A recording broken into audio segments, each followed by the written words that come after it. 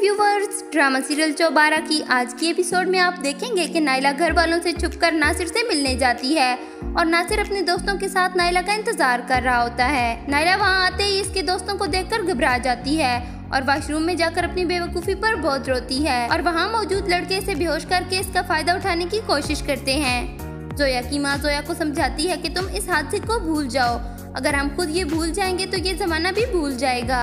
जोया फिर से कॉलेज जाना शुरू करती है और रास्ते में उसे अरसल मिल जाता है। और वो जोया से कहता है कि आज तक किसी को आसानी से मोहब्बत नहीं मिली और जोया अरसल की इस गलत फहमी को दूर कर देती है और कहती है कि जोया ने कभी अरसल से मोहब्बत नहीं की। जोया उसे बताती है कि कॉलेज में लड़कियाँ अपने बॉयफ्रेंड के बारे में बात करती थी तो जोया को बुरा लगता था। इसलिए जोया ने इन लड़कियों को दिखाने के लिए अरसल से दोस्ती की।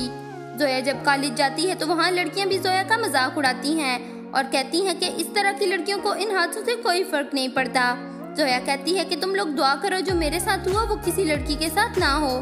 वीडियो अच्छी लगी हो तो इसे लाइक कर दें और मजीद ऐसी वीडियोस देखने के लिए इस चैनल को सब्सक्राइब कर लें।